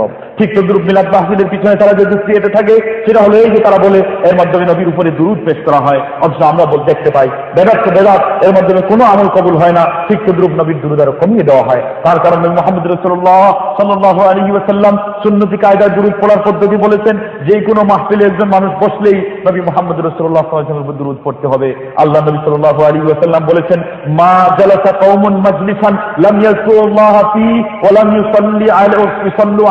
কোন মাহফিলে যদি কোনো মানুষ বসে আর এই জনসমষ্টি আল্লাহর নাম না নেয় একবারও, আমার উপরে একবারও দুরুদ না পড়ে। ইল্লা তাদের সেই মাহফিলের উপরে আল্লাহর পক্ষ থেকে আক্ষেপ এবং ক্ষতিগ্রস্তের দুঃসংবাদ থেকে গেল। যদি চান, তাইলে এই না পড়ার কারণে, আল্লাহর নামটা না নেওয়ার কারণে তাদেরকে শাস্তিও দিতে পারেন। কিন্তু তিনি যদি চান অনুগ্রহ করে, তাইলে ক্ষমাও করে দিতে পারেন। অনুযায়ী আমরা বুঝতে পারলাম, প্রতিটি মাহফিলে মুসলমান সমাজের দুরুদ হওয়া উচিত। সেখানকার জন্য একটি ব্যবস্থা থাকবে, বৎসরে আর নির্দিষ্ট দিনে, দোকানের উদ্বোধনে, বাড়ির উদ্বোধনে সবে পড়াতে সবে মেহারাজে আর সেই রমজানের বিদায় উপলক্ষে, আর সেই সাওয়াল মাসের শেষ উপলক্ষে এই সমস্ত জিনিস হতে পারে না। মহরমে হতে পারে না। নির্দিষ্ট কোনো মাস হবে না, কোনো সপ্তাহে হবে না, কোনো দিনে কোনো রজনীতে হবে না। মোহাম্মদ রসুল্লাহ সাল্লাহ আলী সাল্লামের দিন আপনার উপরে এত বেশি রয়েছে যে সারা জীবন তার আদর্শকে আপনি যদি সাধনা করেন এবং সেইগুলোকে বাস্তবায়ন করতে যান, আর তার উপরে একবার করে সবসময় তার কথা স্মরণ হলে তার নাম নিলে দূরত পড়েন তাইলে আপনার মাধ্যমে ঋণ পরিশোধ হবে না। আল্লাহ আলী সবচেয়ে বড় এবং হলো সেই যার সামনে আমার নাম বলা হয়, কিন্তু সে আমার উপরে পেশ করে না। অথবা আমরা বলতেছিলাম, এই পদ্ধতিতে যে আপনি পড়েন, দেখবেন মসজিদে ঢুকতে আছে, মসজিদ থেকে বের হতে আছে, নামাজের ভিতরে দুরুদ আছে, আজানের সাথে দুরুদ আছে, আজানের পরে পরে দুরুদ আছে, দোয়া করতে গেলে শুরুতে দুরুদ আছে। এইভাবে আপনি যখনই কোনো ভালো কাজ করবেন, যখনই প্রার্থনা করতে যাবেন, যখনই কোনো সমস্যায় পড়বেন, আপনি সব সব সময় ওই মোহাম্মদ রসুল্লাহ সাল্লাহ আলী সাল্লামের উপর দূরত পড়তে অভ্যস্ত হবেন, জুমার দিনে বেশি বেশি করে দূরত পড়বেন। এইভাবে একজন মানুষ বরং আবাদত বেশি করে থাকে। আর এইভাবে আমরা মাহের রমজান থেকে আত্মশুদ্ধিতার মাধ্যমে আমাদের আমলকে শুধরানোর ব্যবস্থা নিতে পারি, যে সবসময় আপনি আল্লাহর কথা স্মরণে রাখবেন, নবী সাল্লাহ আলী সাল্লামের উপরে দূরত পড়বেন, সেই ক্ষেত্রে তার আদর্শকে চর্চা করতে থাকবেন তাইলে আপনাকে বেদাত এদিক সেদিক করতে পারবে না। তথায় আমরা বলতেছিলাম, আমাদের বড় একটি শিক্ষণীয় জিনিস হলো আত্মাকে শুধরানো। এই জিনিসের উপহার নিয়ে এসেছে রমদান সেজন্য আল্লাহ বলেছেন আল্লাহ তাত্তাকুন। সেই সাথে এই মাহের রমদান আমাদেরকে যে জিনিসগুলো উপহার নিয়ে এসেছে, তার মধ্যে বড় একটি উপহার হলো জাহান্নাম থেকে মুক্তি পাওয়া। আল্লাহ আকবর। জাহান্নাম থেকে মুক্তি পাওয়ার জন্য আজকে এই সমস্ত জ্বলন্ত হুতাসন থেকে নিষ্কৃতি দেওয়ার জন্য সমস্ত মিথ্যা দাবিদার এবং সেই সমস্ত আস্থালন ছাড়া ব্যক্তিরা আজকে আপনাদেরকে বিভ্রান্ত করছে। এবং বলছে যে মরিদ হোক, মরিদ হলে দুই সাহেব তোমাদের হাতে ধরে জান্নাতে পৌঁছাই দিবে। আরেকজন বলছে, দুই পীরের হাতে মরিদ হলে আরও ভালো, দুই হাত ধরে সহজে পৌঁছাবে যেন একটি একটি বর্ডার ইন্ডিয়া থেকে বাংলাদেশে মালামাল পাচার করার চুরাই পথে পাচার করার জন্য একটি ব্যবস্থা। মহান রব্বুল আলমিন সম্পর্কে যে তারা মোটেই জ্ঞান রাখে না, আল্লাহ রব্বুল আলমিনের অধিকার সম্পর্কে আমরা, তারা একেবারে উদাসীন। মহান রব্বুল আলমিনকে যে তাদের একে মোটেই ভয় নেই, আল্লাহর ভয়ে যে তাদের অন্তরটা মোটের করেও কাঁপে না এর বাস্তবমুখী প্রমাণ হলো এই যে তারা আজকে এই ধরনের ব্যাধমূলক আচরণ করতে পারে মহান রব্বুল আলমিনের সাথে আর এইভাবে আল্লাহর বান্দাদেরকে তারা বিভ্রান্ত করতে পারে এই ধরনের মিথ্যা দোহাই দিয়ে এমনই কথা তারা বলে যে যদি তারা বাস্তবে হাজিকে বুঝতে পারতো তাইলে তাদের জিব্বা শব্দ হয়ে আসতো তাদের হাত পা অচল হয়ে যেত কেননা আল্লাহ রব্বুল আলমিনের সাথে সিরিকের যে কথা বলা হয় এই কথার মধ্যে আল্লাহ বলেছেন تكاد السماوات يتفطرن من فوقهن وتنشق الأرض وتخر الجبال هدا.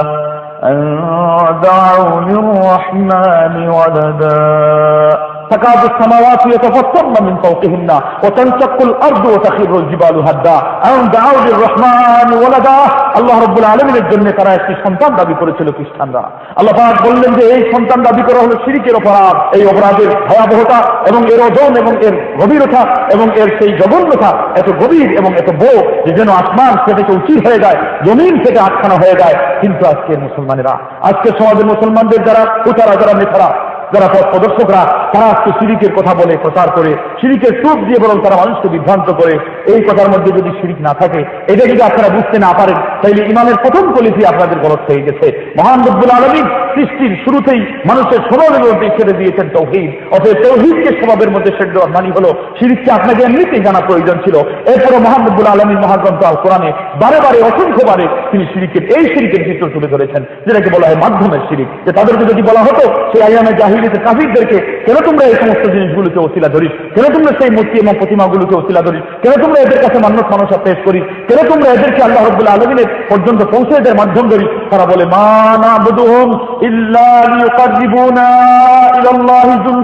তারা বলছে, আমরা এরা বাদক কেবলমাত্র এই জন্যই করি যে এরা আমাদেরকে আল্লাহ পর্যন্ত মাধ্যম হিসেবে পৌঁছাবে।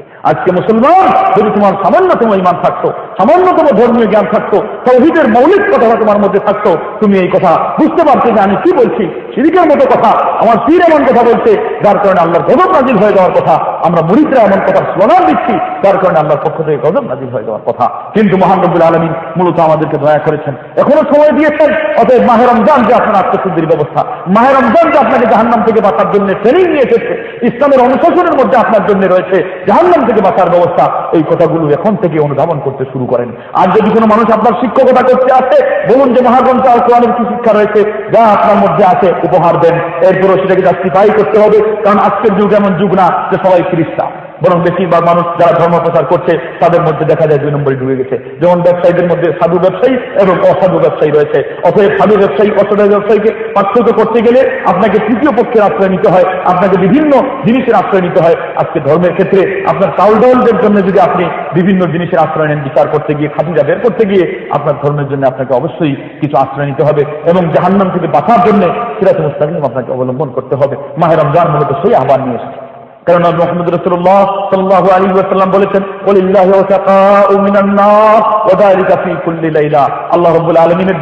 কিছু রয়েছে থেকে বাঁচার ব্যবস্থা রমজানের। এই জিনিসগুলো হলো হয়ে থাকে। অতএব আপনারা এবং আমরা সবাই এই যে অনুশাসনের কথা বললাম এবং আরেকটি বহু উপহার হলো লাইলাতুল কদর। এটাই হলো ভাগ্য রজনী বেদাতি রজনী নয় সবে বরাত। অতএব এই রাত্রির জন্য আপনি অপেক্ষা করেন। তার মানে বেজুর দশ রাত্রির, বেজুর শেষ দশকের বেজুর সব রাত্রিতে আপনি লাইলাতুল কদরের জন্য অপেক্ষা করেন। আর আল্লাহ রব্বুল আলমের কাছে কায়েম অনুবাদকে প্রার্থনা করেন। ইফতারের সময় দোয়া করেন সেহির সময় ইস্তফার তৌবা করেন। তারপরে আপনি মাহে রমজানের শেষ হওয়া পর্যন্ত আপনি আল্লাহ রব্বুল আলমের কাছে নতশির হয়ে কায়েম অনুবাদকে সব মনোবাদকে সবসময় বলতে থাকেন, হে আল্লাহ, তুমি যদি কবুল না করো তাইলে আমার উপায় নাই। ইন্নামা তাকাব্বালুল্লাহ মিনাল মুত্তাকিন। আল্লাহ রব্বুল আলামিন কেবলমাত্র মুত্তাকিদের কাছেই কবুল করে থাকেন, হে আল্লাহ, অতএব তুমি আমার আমলটা কবুল করলে কিনা আমি জানি না। এইভাবে কাতর হয়ে মহান রব্বুল আলমিনের কাছে সব সময় আপনি প্রার্থনা করবেন, কারণ আল্লাহ সেই রোজার আলোচনাটি বলছেন ওইদা সালাকা ইবাদি আননি ফাইন্দি করিব উজিবু দাওয়াত দা ইদা দাআন, আল্লাহ আলমিনের কাছে তিনি বলছেন, দোয়া করলেই দোয়া কবুল এবং সেখানেও কোনো বাধা নেই, কোনো মাধ্যম নেই, সরাসরি আপনি আল্লাহর কাছে চাইতে থাকবেন। আজকে আমরা আল্লাহ আলমের কাছে এই প্রার্থনাই করছি, হে আল্লাহ, তুমি আমাদেরকে আশানুরূপ এবং সার্থক মাহে রমজানের সাধনার তৌফিক দান করো, এমন সাধনার তৌফিক দান করো, যার মাধ্যমে আমাদের জীবনের মূল পরিচয় মাবুদ, জাহান্নামের পথ থেকে আমরা জান্নাতের পথের দিকে আসতে পারি। সততা বিচ্ছিন্ন হওয়া থেকে, বিভিন্ন পাপ ময়লা থেকে পরিষ্কার পরিচ্ছন্ন হয়ে আমরা সিরাতে মুস্তাকিমের মধ্যে এসে ইসলামের এই সত্য এবং শুভ্র সেই সিরাতে মুস্তাকিমের সন্ধানে এসে ওই শিবানির মাধ্যমে যে সন্ধান তুমি দিয়েছ কোরআন ও সুন্নাহ রফি ওয়াহি। তার মাধ্যমে আমাদের জীবনকে শুধরানোর তুমি তৌফিক দান করো, মাহবুদ। এই মাহ রমজানের মধ্যে মহাগ্রন্থ কোরআন নাজিল করার সাথে যে সম্পর্ক তুমি জড়িয়ে দিয়েছ, যে কোরআনের অসংখ্য অগণিত শিক্ষা মুসলমান সমাজ এই মাহে রমজানের মধ্যে তারা অনুশীলন করে থাকে এবং এই মাধ্যমে তারা হেদায়তের উপরে সুপ্রতিষ্ঠিত হতে পারে এর তৌফিক তুমি আমাদেরকে দান করো। এই রমজান থেকে ফরজ এবাদতের সাথে সাথে যত নফল এবাদত ট্রেনিং আমরা নিয়েছি, তারাবির নামাজের পরিবর্তে এবং এর স্থানে যে সাহায্যদের নামাজের অনুশীলন করা এবং ট্রেনিং নেওয়া স্বাস্থ্যের নামাজ সহ আর অন্যান্য নফল নামাজের ট্রেনিং নেওয়া মাতা পিতার সাথে সদ্ব্যবহারের ট্রেনিং নেওয়া, এই সমস্ত ভালো কাজের তৌফিক তুমি আমাদেরকে দান করো। এবং এর মধ্যে আমরা যে হালাল কাজ থেকে, পরিহার থেকে এবং বিরত থেকে আমরা যে কাজগুলো ট্রেনিং নিয়েছি, এর মাধ্যমে তুমি নিছক হারাম যেগুলো সেগুলোর থেকে সারা জীবনের জন্য আমাদেরকে বিরত থাকার অভ্যাস তুমি আমাদের গড়ার তৌফিক দান করো এবং তুমি আমাদেরকে তোমার সন্তুষ্টির যত কাজ রয়েছে, সেগুলো তৌফিকের মাধ্যমে দুনিয়া এবং আখেরাতে আমাদেরকে সার্থক মুসলমান হিসাবে পরিগণিত হওয়ার তৌফিক দান করো। আমিন রব্বাল আলামিন। ওয়া আখিরু দাওয়ানা আনিল রাব্বিল আলামিন। ওয়া সাল্লাল্লাহু সাল্লামা আলা নাবিয়িনা মুহাম্মদ ওয়া আলিহি ওয়া সাহবিহি আজমাইন। সম্মানিত শ্রোতা আপনারা এই পর্যন্ত মাহ রমাদানের উপহার সম্পর্কে আলোচনা শুনেছেন আমাদের আরো অন্যান্য অডিও ভিডিও ক্যাসেটের জন্য যোগাযোগের সন্ধান পোস্ট বক্স নং পঁচিশ রিয়াজ এগারো হাজার তিনশো তিরাশি phone four nine eight two two two four five four nine eight two two two eight ধন্যবাদ قال النبي الأمين صلى الله عليه وسلم من صام رمضان إيمانا واحتسابا غفر له ما تقدم من ذنبه ومن قام رمضان إيمانا واحتسابا غفر له ما تقدم من ذنبه ومن قام ليلة القدر إيمانا واحتسابا غفر له ما تقدم من ذنبه সমস্ত তারিফ এবং প্রশংসা সেই মহান রব্বুল আলমিনের জন্যই শোভা পায় যে আল্লাপাক আমাদেরকে অসংখ্য অগণিত নিয়ামত দ্বারা ধন্য করেছেন সেই সমস্ত অসংখ্য নিয়ামতের মধ্যে বড় একটি নিয়ামত হচ্ছে এই পবিত্র মাস, মাহে রমাদান। এই মাস আমাদের সামনে অতি শীঘ্রই এসে পড়ছে এবং অত্যাসন্ন হয়ে দাঁড়িয়েছে। মহান রব্বুল আলমিনের পক্ষ থেকে এই একটি মাস অসংখ্য অগণিত নিয়ামত এবং উপহার নিয়ে আমাদের সামনে মূলত হাজির হচ্ছে। সেজন্য মুসলমান হিসাবে, মুমিন হিসাবে আমাদের প্রতিটি মুসলমান পুরুষ এবং নারীকে এই মাসের জন্য তার যথাযথ মর্যাদা রক্ষার জন্য এখন থেকেই প্রস্তুতি নেওয়া অপরিহার্য হয়ে দাঁড়িয়েছে। আমরা জানি আমাদের সামনে যদি কোনো সম্মানী মেহমান আসার কথা আমরা শুনতে পাই এবং এর কোনো প্রোগ্রাম চলতে থাকে, তাহলে বহুদিন থেকে আমরা তার জন্য প্রস্তুতি নিয়ে থাকি। যেহেতু তার মর্যাদা রয়েছে অনেক যদি আমাদের প্রস্তুতির মধ্যে গ্যাপ এবং ত্রুটির কারণে তার মর্যাদায় কোনো ধরনের ত্রুটি বিচ্ছুতি পরিলক্ষিত হয়, তবে আমাদের এলাকা এবং সমাজ ও পরিবারের সেই দুর্নাম হবে, এই ভয়ে আমরা প্রস্তুতি নিতে থাকি। মহান রব্বুল আলমের পক্ষ থেকে আসুন তাহলে এই যে সম্মানী একটি মেহমান আমাদের সামনে অত্যাসন্ন হয়ে দাঁড়িয়েছে, তার জন্য আমরা কি প্রস্তুতি নিয়েছি? তো মূলত আজকে এই প্রস্তুতির ব্যবস্থার জন্যই এবং এই মেহমানের মান মর্যাদা কত দূর রয়েছে তার সম্পর্কে একটু ধারণা দেওয়ার জন্যই আইডিয়া দেওয়ার জন্যই আজকে আপনাদের সামনে এই আলোচনার ব্যবস্থা। এই আলোচনার ব্যবস্থাপনায় রয়েছে নতুন সানা ইসলামিক দাওয়া সেন্টার। আপনারা তার নাম শুনে থাকবেন এবং এরই আয়োজনায় এবং তারই প্রযোজনায় আজকের এই অনুষ্ঠান আপনাদের সামনে পেশ করা হচ্ছে।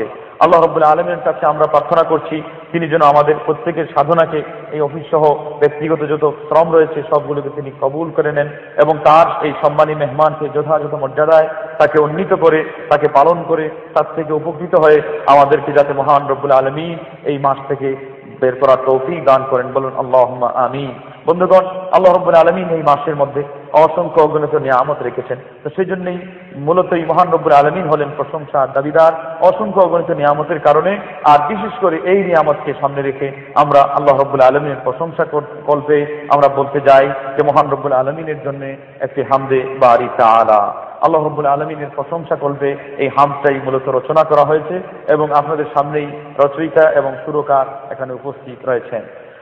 প্রশংসা তোমারি আল্লাহ মহান। তোমার নামে দেই সবই কুরবান। প্রশংসা তোমারি আল্লাহ মহান। তোমার নামে দেই সবই কুরবান। সব কিছুতে বিরাজমান।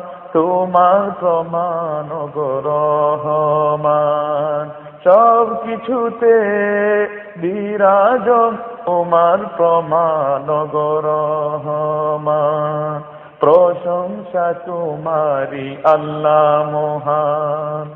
তোমার নামে দেই সবই কুরবান।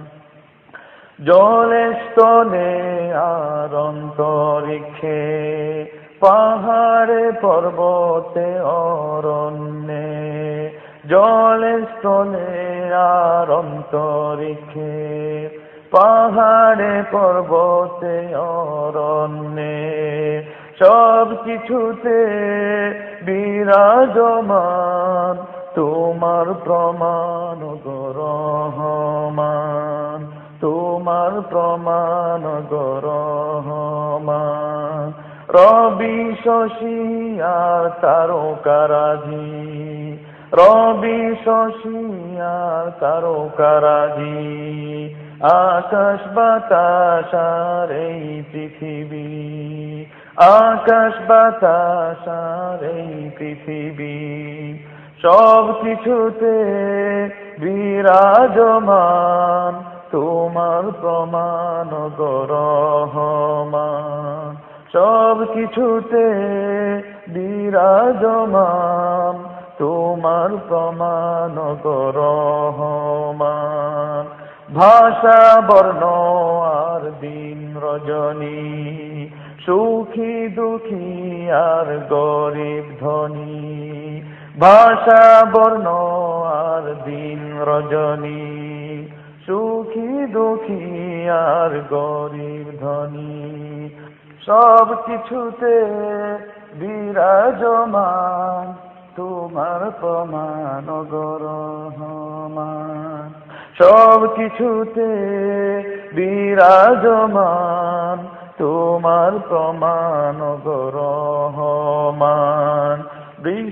বাদলার পাক পাখালি, তৃণলতার গাছ গাছালি বৃষ্টি বাদলার পাক পাখালি তৃণলতার গাছ গাছালি সব কিছুতে বিরাজমান, তোমার প্রমাণ রহমান প্রশংসা তোমারি আল্লাহ মহান, তোমার নামে দেই সবই করবান, প্রশংসা তোমারি আল্লাহ মহান। তোমার নামে দেই সবই করবান, সব কিছুতে বিরাজমান, তোমার প্রমাণ গরহমান, সব কিছুতে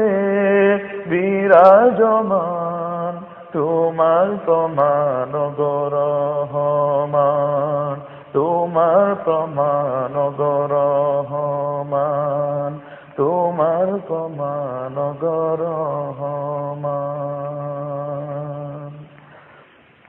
মহান রব্বুল আলমিনের হাম এবং তার প্রশংসা জ্ঞাপনের পরে আজকে আপনাদের সামনে আমরা মূল বিষয়ের প্রতি অগ্রসর হতে যাচ্ছি। অগ্রসর হতে গেলে সর্বপ্রথম যে কথা এবং যে পয়েন্ট আপনাদের সামনে তুলে ধরার প্রয়োজন মনে করছি এবং যেটাকে আমরা সর্বপ্রধান এই মাহে রমজানের মর্যাদার দিক এবং পয়েন্ট হিসাবে চিহ্নিত করতে চাচ্ছি সেটা হচ্ছে মহাগ্রন্থ আল কোরআনুল করিম।